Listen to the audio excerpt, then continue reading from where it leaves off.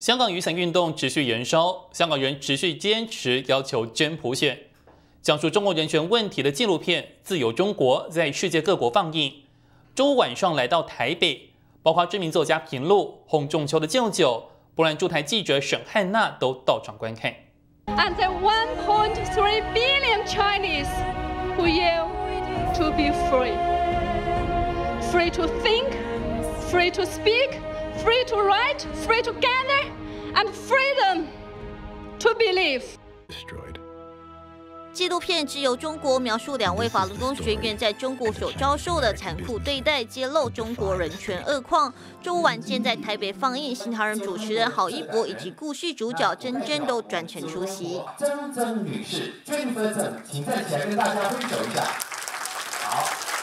好。电影放映厅几乎爆满，包括知名作家平路、洪仲秋的舅舅、波兰驻台记者沈汉娜都到场观看。生命、自由、尊严，哈，还有这个宗教信仰、种族，这些都是基本的人权呐，哦。但是在对岸，哈，它是应该说在对岸的一个环境下是遥不可及啦。不敢置信的的的故事，我我真的很感动。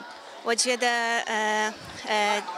特别是看这些法轮功学员那么勇敢，他们的看他们的勇气，也觉得他们呃面对那么大的破坏，但是还是可以呃开可以坚守他们的呃信仰。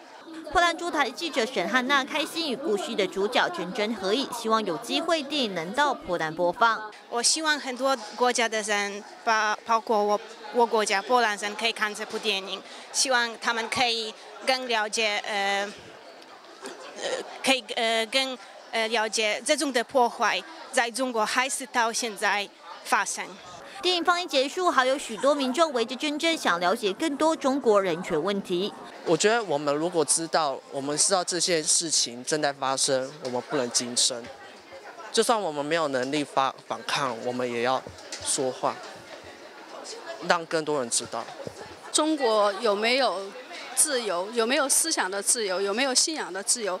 它确实是关乎到世界，关乎到台湾，关乎到香港。尤其通过最近的太阳花运动啊、雨伞运动啊，更更多的人意识到。那么反过头来再来看《自由中国》这部电影的时候，可能能够引起更多人的共鸣。